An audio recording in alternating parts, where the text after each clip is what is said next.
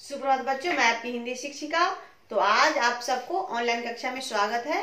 तो आज हम सब पढ़ेंगे हिंदी व्याकरण वर्ग दो के लिए है, और इसमें आपका पाठ है सोलह दिन और महीने का नाम। दिन और महीने है तो सप्ताह में कितने दिन होते हैं? सात दिन। और महीने में कितने महीने होते हैं?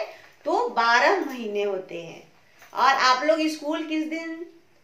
आपका स्कूल किस दिन बंद रहता है? तो रविवार और अगले दिन होता है सोमवार। तो सोमवार से स्कूल जो है, आप लोग जाने लगते हैं। और कौन कौन दिन जाते हैं? सोमवार, मंगलवार, बुधवार, गुरुवार, शुक्रवार, शनिवार। इन दिनों आपके जो स्कूल है, वो खुले हुए रहते हैं। और रविवार के रविवार के दिन आपका जो स्कूल है, वो क्या रहता है? बंद रहता है। आपकी विद्यालय बंद रहती है। तो वही आपको अभी इस पाठ में आप और दिन और महीने के नाम पढ़ेंगे।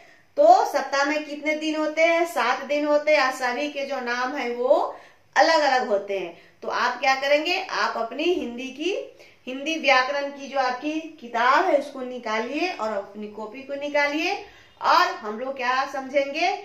दिनों के नाम और महीनों के नाम। तो पहले कौन सा दिन आता है? देख लेते हैं, पहले आता है कौन? सप्ताह में कितने दिन होते हैं? सप्ताह में होते हैं सात दिन। पहले यहाँ देख दिनों के नाम होता है और ये देख लीजिए। सप्ताह में सात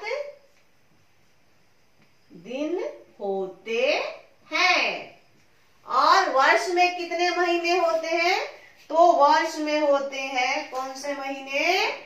बारह, यानी कि साल में साल में बारह महीने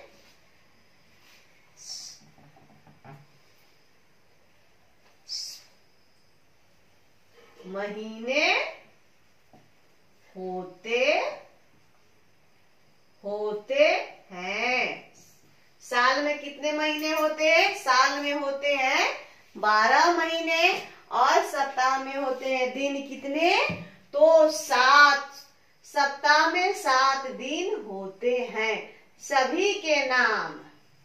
सभी के नाम अलग अलग होते हैं। सभी के नाम क्या होते हैं? जैसे राम मोहन, सीता, गीता, पंकज, रवि, शंकर। तो इसी तरह से जैसे व्यक्ति के नाम अलग अलग होते उसी तरह दिनों के नाम भी अलग अलग होते हैं। आपके बैग में सभी के नाम किताब है, कॉपी है, पेंसिल है, कलम है, ये सब के नाम अलग अलग है। ना और नाम क्या है? ये है आपको संज्ञा, जो आप अपनी किताब में पढ़ते हैं, संज्ञा। तो ये जो महीनों के नाम और दिनों के नाम भी क्या होते हैं? संज्ञा। और मेरा आपका नाम भी संज्ञा, ये पेन भी संज्ञा ये मार्कर भी संज्ञा तो सब क्या है? संज्ञा यानी कि नाम क्या होता है? संज्ञा होता है। तब आप लिख, हो गया। सप्ताह में सात दिन होते हैं, सभी के नाम अलग अलग होते हैं। और साल में बारह महीने होते हैं। और सभी के नाम, सभी महीनों के अपने अपने नाम है। सभी महीनों के अपने अपने नाम है। तो अभी आप इस पाठ में सिर्फ़ क्या पढ़ेंगे? इस पाठ में पढ़ेंगे जो हम लोग जो महीनों का नाम इस्तेमाल करते हैं। हिंदी में महीनों के नाम अलग होते हैं और अंग्रेज़ी में महीनों के नाम अलग होते हैं। तो भी हम सब पढ़ेंगे अंग्रेज़ी में महीनों के नाम। और आपका जो फरवरी है वो कितने दिनों का होता है? वो फरवरी 28 दिनों के होता है। और कुछ महीने 30 दिन के होते हैं, और कुछ महीने जो होते हैं वो 31 दिन के होते हैं। तो आप पढ़ लिए ये महीनों के नाम। तो पहले हम लोग सप्ताह में आ जाते हैं, फिर आपको महीनों के नाम में फिर हम समझे। सप्ताह में कितने नाम होते हैं? एक होता है सोमवार दो में है आपका मंगल, वार। फिर है आपका तीन में है बुधवार। चार में है बृहस पति वार फिर आपका है शुक्रवार, पाँच में है आपका शुक्रवार। फिर आपका छ में शनिवार। फिर सात में है क्या? रविवार। रविवार। तो इन दिनों आपका क्या रहता है? आपका स्कूल जो है रविवार को दिन बंद रहता है, इसमें लिख रही हूँ। विद्यालय बंद रहता है आपको। बंद रहता है। रविवार के दिन आपका विद्यालय बंद रहता है और बाकी दिनों के जो है, आपका विद्यालय जो है इस दिन तक खुली हुई रहती है। तो इससे आप ध्यान में रखिएगा कि मैं विद्यालय जो रविवार के दिन जो विद्यालय खुलती हुई रहता है, सोमवार, फिर मंगलवार, फिर बुधवार, फिर गुरुवार, शुक्रवार और शनिवार ये आपका हो गया, इस दिन विद्यालय बंद रहता है। फिर अब हम आ जाते हैं महीनों पर। यहाँ आपको साल में बारह महीने होते हैं और सभी महीनों के अपने अपने नाम है।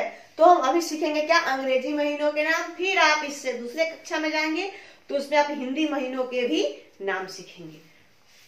तो आपका हो गया, आगे हम देख रहे हैं कि ये क्या होता है, इस महीने में कुछ महीने जो है वो अट्ठाईस दिन के कुछ महीने तीस दिन के होते हैं और कुछ महीने इकतीस दिन के होते हैं। तो मैं आपको बता रही हूँ कि कौन कौन से महीने जो है वो इक्कीस दिन के होते हैं और कौन से महीने तीस दिन के होते हैं।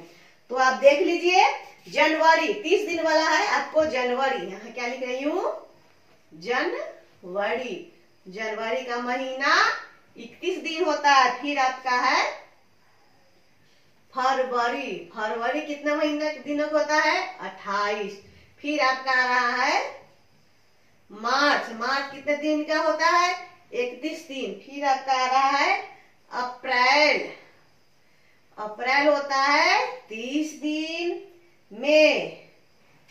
इंग्लिश में मई। मई होता है आपका, मई होता है आपका इकतीस दिन का। तो आपका सब महीने जो हो गए तीस दिन और इकतीस दिन के हो गए। फिर अब चलिए अब। मई के बाद हो जाएगा। मई के बाद हो जाएगा आपका जून। क्या हो जाएगा? जून। जून कितने दिन का होता है? तीस दिन। फिर आपका हो जाएगा क्या? जुलाई। जुलाई। जुलाई हो जाएगा इकतीस दिन। अगस्त। अगस्त हो जाएगा। इकतीस सितंबर।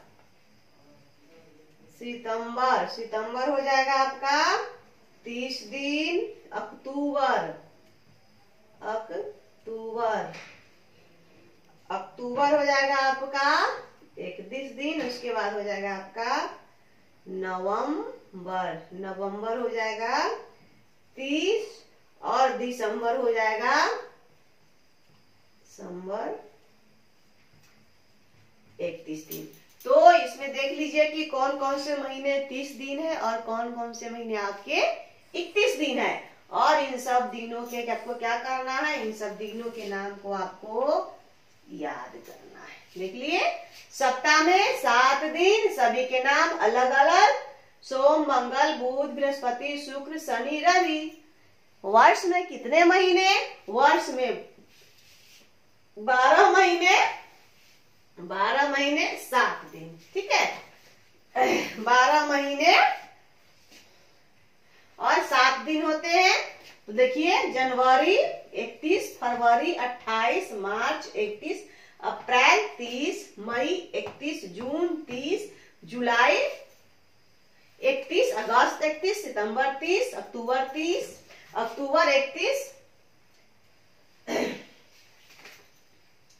अक्टूबर हो गया आपका इकतीस और नवंबर तीस, दिसंबर तीस। तो इस तरह से आपका जो पाठ सोलह समाप्त हो रहा है। आप दिन और महीनों के नाम को याद कर लेंगे और समझ लेंगे कि मैं जो जो बताया इसको आप अपनी कॉपी में लिखेंगे। आपका आज का ऑनलाइन कक्षा समाप्त होता है। धन्यवाद। फिर मैं आपसे अगले कक्षा में मिलती हूँ।